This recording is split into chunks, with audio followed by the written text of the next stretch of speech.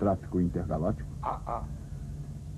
E que tal uma caçada com criaturas que sangram ácido? Uh, preste atenção, chefe.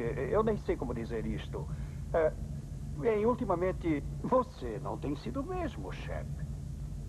Por exemplo, o velho Ramsey jamais deixaria que o presidente e a China fosse morto. Espera aí, eu... Não, não, tudo bem. Eu não estou culpando você. Não foi culpa sua. Mas você anda trabalhando demais.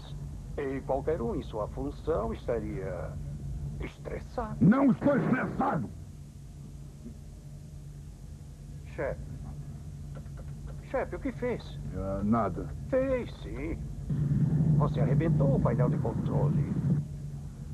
Você vai fazer o seguinte.